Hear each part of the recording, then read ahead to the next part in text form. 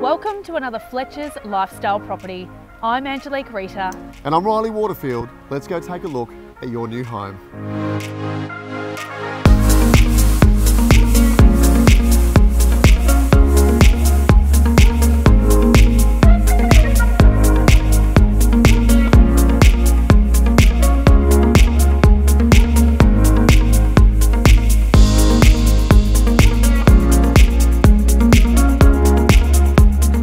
Key features of the home is the flexibility of dual living.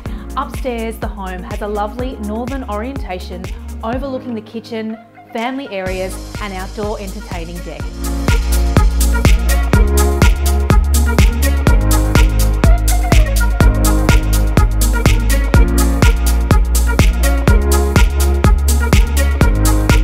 Schools are high on your list of priorities, it's good to know you do have the choice for your kids to walk or ride their bikes to either Yarra, Good Shepherd, Luther, Rudolf Steiner and Oxley's not too far down the road.